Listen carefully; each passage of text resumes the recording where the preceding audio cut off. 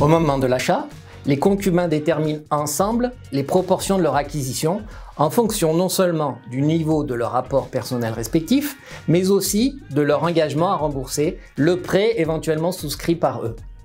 Ces proportions sont indiquées dans le titre de propriété. Cependant, les circonstances peuvent amener les concubins à ne pas respecter leur engagement.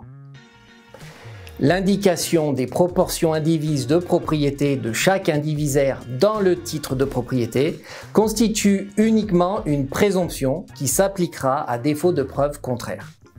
Il appartiendra donc aux concubins prétendant revendiquer un droit supérieur de renverser cette présomption en apportant des preuves de ses prétentions, et ce afin de demander à l'autre une compensation appelée créance.